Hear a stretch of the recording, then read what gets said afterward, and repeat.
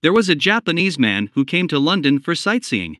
On the last day, he hailed a cab and told the driver to drive to the airport. During the journey, a Honda drove past the taxi.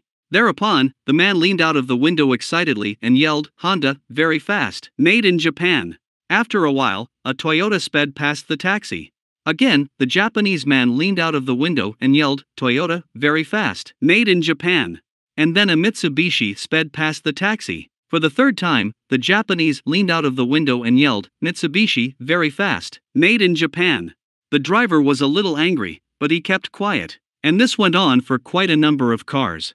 Finally, the taxi came to the airport. The fare was 300 pounds. The Japanese exclaimed, Wah, so expensive. Thereupon, the driver yelled back, Meter, very fast, made in Japan.